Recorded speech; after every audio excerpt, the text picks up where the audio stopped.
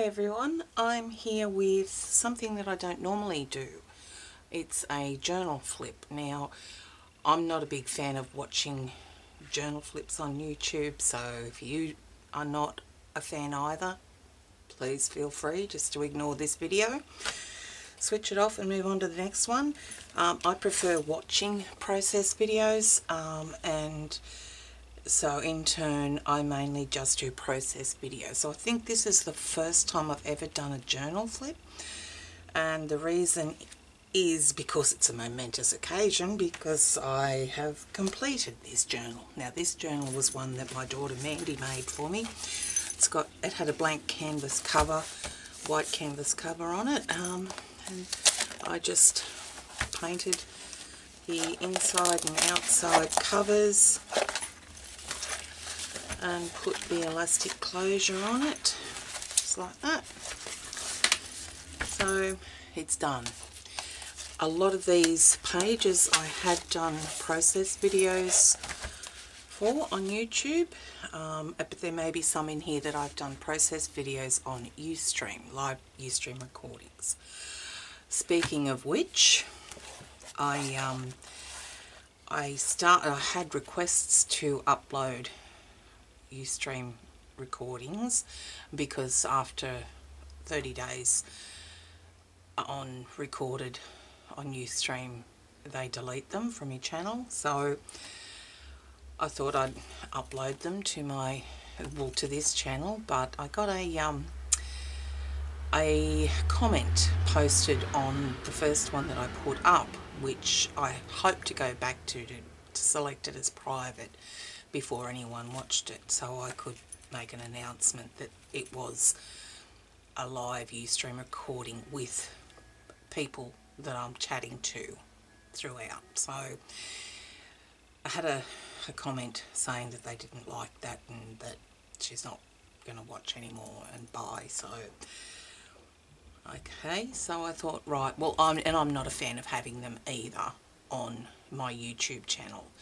Um, so I decided to um, put them over on my other YouTube channel, the one that I had when the Google YouTube merger came through. I already had a, a Google account under another name and so I'll put the link um, in here somewhere on the video and in the description to the other my other channel with the Ustream recordings. Now there's not a lot there yet so bear with me.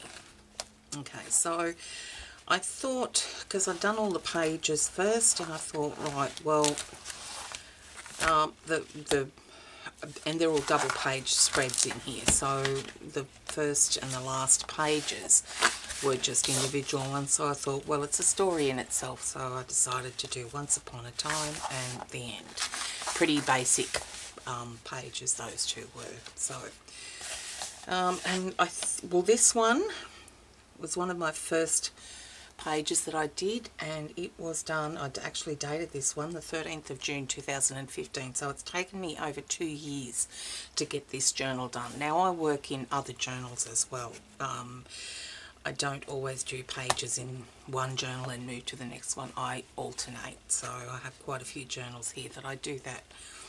Um, so that's that one. This one here I'm not a fan of but um, it is what it is. I think there were that's washi tape and just stencils and sprays and stuff in the background there. This one here, I did do a process video I thought, but then something happened to the video and the recording. Most of the recording got lost, so it didn't get um, uploaded anywhere. This one here was a YouTube recording, I'm pretty sure. Um, so nice and bright which if anyone knows me I'm, I'm not usually I ha I wasn't way back then a fan of brights that was always vintage and grunge looking so that was that was a big thing for me I love anything with white space so hence that page there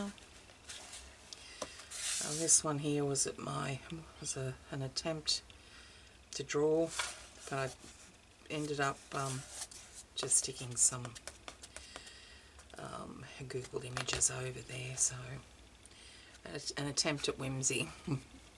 this one here um, is a very basic one. Um, Love is a, a, game two can play and both win. So it was, yeah, very basic page, that one. I think I uploaded that one. I love this one, only probably because of the colours. Greens and blues I love. Um, my favourite mixture is blues and uh, blues and browns. This one here, I actually drew that butterfly. and there you'll see my blues in the background. So there's a lot of texture in the background there too. I think there might be texture paste on that one. This one here I'm not a big fan on. It was, and I tend to think that napkins, when you apply napkins on pages, it dulls the page. And that's probably what I don't like about napkin art. Oh, sticking together. Um, blues and greens again with the black and I must say that I love the black um, addition to pages. This one was a um, gave me a lot of grief. It was trying to do the crackle accent, like crackle medium effect there, so it sort of didn't work out too well because it didn't show too much of the background underneath, but it is what it is. This one here, playing with um, embossing, glitter embossing powder here, which uh, I don't think a lot of us actually, they, we love the look of it, but actually working with it's a bit messy. This one here was probably one of my first reveal pages. I love doing backgrounds and then putting either black or white or another solid cover over it, but uh, these were masked off when I put the white on, so for that to appear, and that's the background there as well. So I like the reveal technique. Uh, this one here was a Ustream recording. It was a sort of a play on the Dylusions brand because I used mostly Dylusions um, products on there. So Fifty Shades of Dylusions. Okay. Um, and I did a PG one of those. That's a bit of a an M-rated. Um, just played around with flowers and I think that one's a bit too messy. Too busy. Um, I love this one, nice and bright. As I said earlier, I'm into starting to get into a lot of bright and whimsical um, things on my pages. So, and this one was just because I had that stencil and I really wanted to use it. Um, that was a bit of a fail. Um, another whimsical one where I didn't think it was one of my better ones. Um, playing with flowers here and stencils and overlapping and using masks so that they look like they're behind and in front and all that sort of thing. So, um, and then I became interested in the whimsical houses. So I like that page. Then I tried to, I think, seal it and the um, pencil, the water activated pencil ran. So anyway, it is what it is. This one I love. This is a napkin also and it's one of those pages where you don't mind it being dulled down. That's just an image printed onto deli paper and adhered to the page and I printed it using my inkjet printer. Uh, I'm not a big fan of this one either. I think it's a bit dull. And these here are napkins, and that's probably why it's dull, because there are napkins underneath there.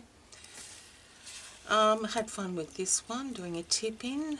Um, so put the background and a tip in there. If opportunity doesn't knock, build a door.